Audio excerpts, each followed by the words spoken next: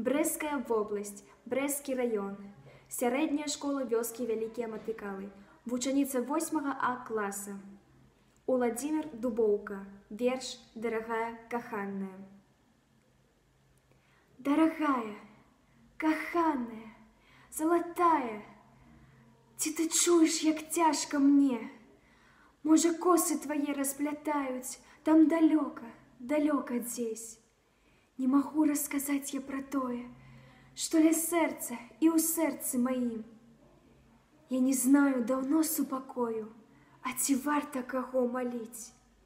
У адчай сцюдзёным сціскаю, ашчаперыўшы рукамі чало.